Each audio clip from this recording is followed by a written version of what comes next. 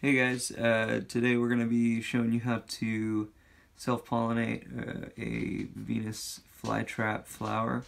Uh, these flowered, the middle one flowered two days ago and then these two popped up this morning.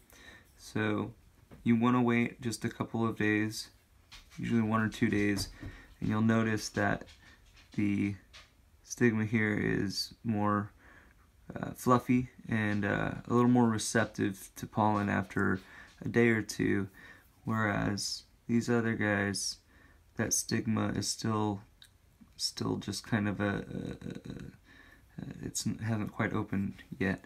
So you're going to take a, a, brush that has never been used before, um, sterile brush. Let's let this get back into focus here. There we go and we're just going to take dab these pollen bristles on the that are outside. You'll pick up just a little pollen like that and then you're going to dab that right into the into the stigma there. And we'll just do that again with several of these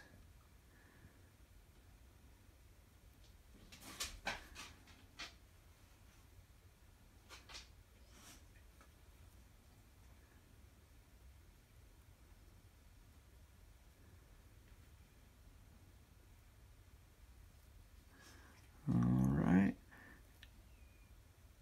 And over the next couple of weeks this will close and kind of harden and you'll be able to see if it was successful, if it, if it drops uh, seed.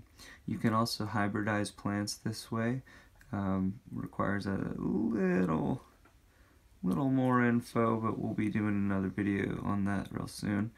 Um, also, my next video will be how to pollinate a uh, Drosera sundew.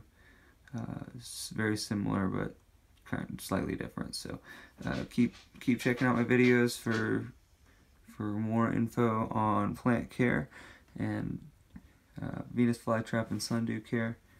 And thanks again.